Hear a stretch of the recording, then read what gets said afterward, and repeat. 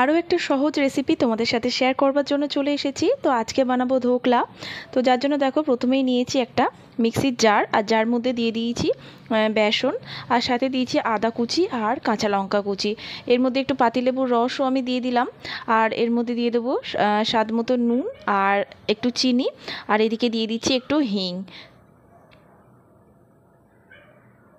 আর দিয়ে দেবো কালারের জন্য একটু হলুদ গুঁড়ো। তো দেওয়ার পরে এর মধ্যে পরিমাণ মতো জল দিয়ে এটাকে কিন্তু একটু ব্লেন্ড করে নিচ্ছি। আর এই ব্যাটারটাকে আমি ঢেলে নেব একটা বাটির মধ্যে। তো নেবার পরে কিন্তু এটাকে একটু ভালো করে আমাকে ফেটাতে হবে। বেশ হাতে সময় নিয়ে তিন থেকে চার মিনিট এইভাবেই কিন্তু আমি ফেটাবো। তারপরে কিন্তু এটাকে এর মধ্যে একটু দিয়ে দেবো তেল। মোটামুটি দু চামচ মতো তেল দিলেই হবে। তো এখানে দু চামচ মতো আমি তেল অ্যাড করছি। করার পরে কিন্তু এটাকেও আমি ভালো করে মিশিয়ে নেব। তো মিশিয়ে নেবার পরে এটাকে একটু রেস্টে রেখে দেবো। মোটামুটি দশ থেকে পনেরো মিনিট ঢাকা চাপা দিয়ে এইভাবে একটু রেস্টে রেখে দেবো। তো দশ থেকে পনেরো মিনিট পর ঢাকনাটা খোলার পরে আরও বেশ কিছুক্ষণ কিন্তু এইভাবে ফেটিয়ে নেব। আর আমি এটা বানাবো একটা কেক টিনের মধ্যে। তো যার জন্য সেটাকে মানে মোলটাকে একটুখানি আমি তেল দিয়ে গ্রিস করে নিচ্ছি। তো নেওয়ার পরে এটাকে সাইডে রেখে দেব, দেওয়ার পরে ওই যে ব্যাটারটা বানিয়েছি বেসনের, ওটার মধ্যে একটুখানি দিয়ে দেবো ইনো ফ্রুট সল্ট, আর সেটাকে অ্যাক্টিভেট করার জন্য সামান্য একটু জল আমি এর মধ্যে অ্যাড করব। করার পরে সেটা কিন্তু হালকা হাতে আমাকে মেশাতে হবে।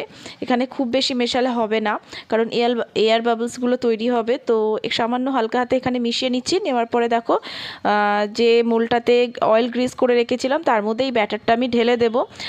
একটুখানি ট্যাপ করে নেব। আর ওদিকে প্রেশার কুকারের মধ্যে বানাবো। তো জলটা গরম করতে দিয়েছিলাম। যার মধ্যে একটা স্ট্যান্ড রেখে এখানে মোলটা বসিয়ে দিয়ে ঢাকনাটা বন্ধ করে দিচ্ছি। আর অবশ্যই সিটিটাকে রিলিজ করে দিয়েছি। আর এদিকে একটা প্যানের মধ্যে সামান্য একটু তেল গরম করে সর্ষে ফোড়ন দিয়েছি। কালো সর্ষে, সাথে কারি পাতা দিয়ে দিচ্ছি, একটু হিং দিয়ে দিলাম। আর দিয়ে দেবো একটু কাঁচা লঙ্কা। দেওয়ার পরে দেখো একটু মিশিয়ে নিলাম, একটু জল দিয়ে দিলাম এর মধ্যে। জলটা দেওয়ার পরে এর মধ্যে স্বাদ মতো নুন দিয়ে দেবো আর সামান্য একটু চিনি দিয়ে দিচ্ছি। দেওয়ার পরে দেখো এর মধ্যে একটু দিয়ে দেবো পাতি লেবুর রস। তো দেওয়ার পর ভালো করে মিশিয়ে নিয়ে সামান্য একটুখানি ফুটবে। তো এটাকে সাইডে রেখে দেবো। কারণ এটা উপরে তরকা হিসেবে ইউজ করছি। আর এদিকে দেখো পনেরো থেকে কুড়ি মিনিট পরে ঢাকনাটা খুলেছি। এদিকে দেখো, এটা হয়ে গেছে, তো এটাকে নামিয়ে একটু ঠান্ডা করে নেব। নেওয়ার পরে এটাকে কিন্তু ডিমোল্ড করব। তো সহজেই কিন্তু বেরিয়ে আসবে, দেখতেই পাচ্ছ।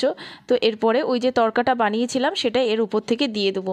তো এরকম অনেক রেসিপি কিন্তু আমার চ্যানেলে আছে, অবশ্যই চেক আউট করে নিও। আর এই রেসিপিটা কেমন লাগল জানাতে ভুলো না। আবার দেখাবে নতুন রেসিপির সাথে। টাটা!